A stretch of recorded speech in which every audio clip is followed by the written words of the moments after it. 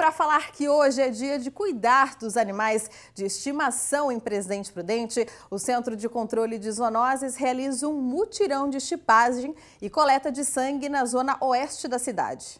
O posto volante de atendimento é no residencial Greenville. Logo cedo, teve gente que aproveitou para levar os animais. No local é feita a coleta de sangue para diagnóstico da leishmaniose e a chipagem. O chip é como se fosse um documento de identidade com várias informações. O objetivo é promover o controle da população canina e evitar que os donos abandonem os animais nas ruas.